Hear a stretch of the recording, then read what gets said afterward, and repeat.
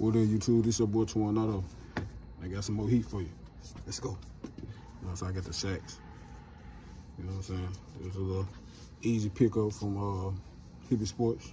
You know what I'm saying? Let me show you what it, what going on with it. So you see the box. Big ass box. I don't know why the Shaq boxes be big as fuck, but I don't know.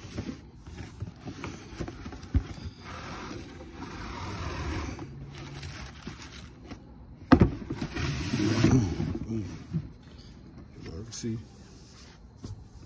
I guess this the uh, Lakers colorway. You know, I don't fuck with no Lakers, but I'm a big Kobe fan. RP Kobe. But you know what I'm saying? Goes stay over here. So you see.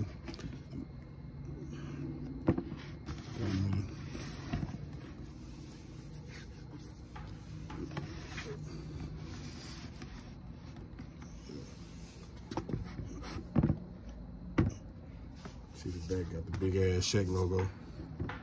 So, man, copper drop.